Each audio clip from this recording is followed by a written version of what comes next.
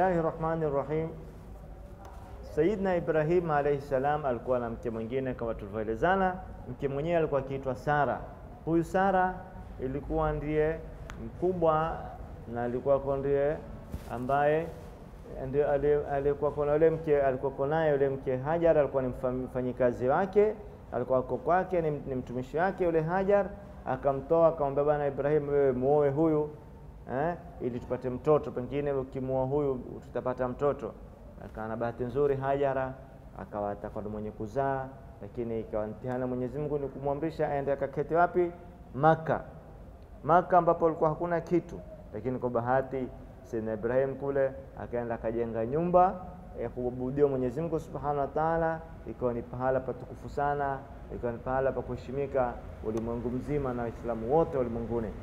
Huku upande wa pili katika Al-Quds, katika mji wa Quds akajenga mwenye Sayyidina Ibrahim alayhi salam nyumba ya Mwenyezi Mungu nyingine ya ibada. Ana mtoto huku pia akiitwa Ishaq. Ishaq alizaliwa baada ya Ismail. Ule mtoto Ishaq naye alipokwenda kule Sayyidina Ibrahim akamwambia, haya, mimi nitaka kujenga nyumba. Wakaijenga nyumba kule Al-Quds, ikawa ni ndio nyumba Baitul Maqdis au Al-Masjidul Aqsa, ikawa ndio Al-Masjidul Aqsa ambayo ni nyumba Sayyidina Muhammad sallallahu alaihi wasallam siku ya Israi na Miraji aliondoka kutoka Maka akienda mpaka Masjidil Aqsa. Mtoto na baba yake wakasaidiana kujenga nyumba kama walivyojenga nyumba ya Maka, ikawa itakuwa ni nyumba ya pili ya kuabudiwa Mwenyezi Mungu Subhanahu wa Ta'ala. Hapo hata Madina haijaotwa, lakini Baitul Maqdis na Maka ni nyumba mbili za Mwenyezi Mungu Subhanahu wa Ta'ala zilizokuwa mwanzo.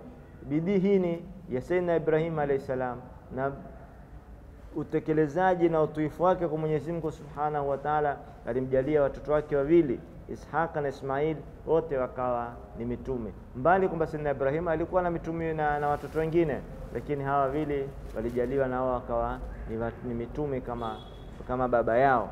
Hii ni bahati, bahati kubwa ambapo hakuna katika mtumi ambaye alikuwa na, na watoto ambao mitume isipokuwa kizazi cha sidna Ibrahim alayhi salam cha karibu hiki ambacho ni kuanzia eh, yeye Saidina Ibrahim na Ismail na Ishaq.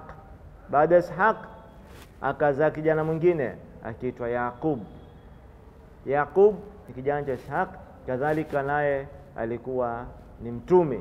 Baada ya Yaqub akazaa kijana mwingine kadhalika naye akawa ni mtume. Mamjua aitwaje?